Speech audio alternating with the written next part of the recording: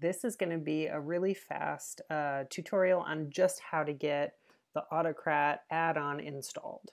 Um, so if you know how to do add-ons, you should probably skip this one. But if not, here we go. Um, fun fact about the Chrome browser, if you type in sheets.new, it makes a new spreadsheet for you, which is nice.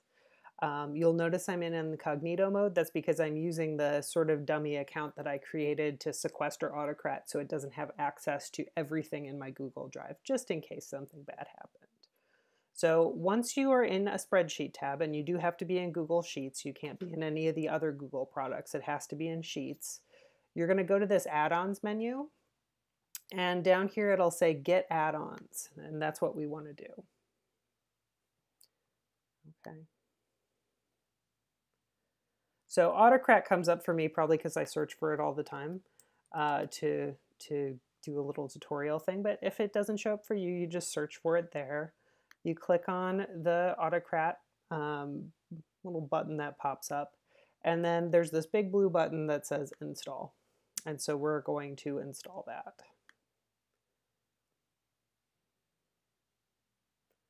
Making me choose my account, which is good.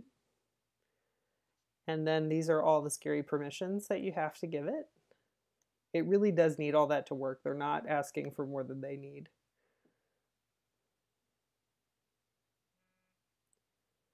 Okay, and so now it's telling us that when we go back to our sheet and click on add-ons, Autocrat is there and we can open or do any of these other things. Let's see what open does, because honestly, usually it says launch for me. Okay, it does the same thing that it normally does. Okay, and so this is where we'll start in the next video, um, and I'll walk you through all the steps to set up Autocrat to run jobs for you.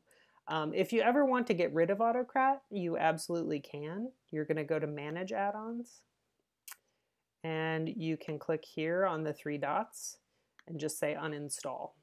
Um, there's a few other ways to uninstall as well. But if you don't want Autocrat to be running in the background or to continue to have access after the one thing you're planning on using it for, you can always uninstall it very, very simply. All right, good luck.